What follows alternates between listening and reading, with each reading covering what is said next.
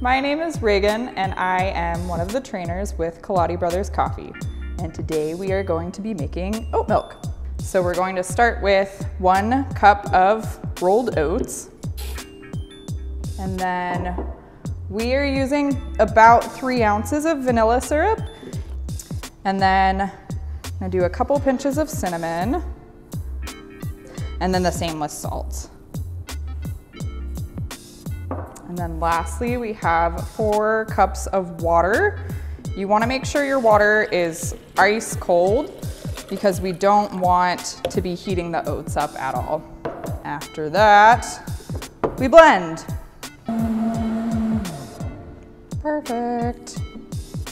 Okay, so you could do the traditional cheesecloth straining. We took the route of using a French press.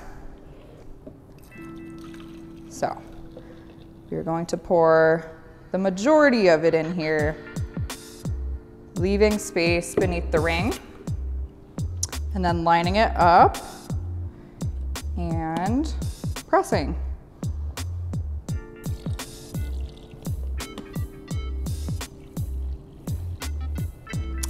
Okay, so once you have it all pressed, you can use this the same way you would use any store-bought oat milk. So we've got a cold brew here. Let's try it out.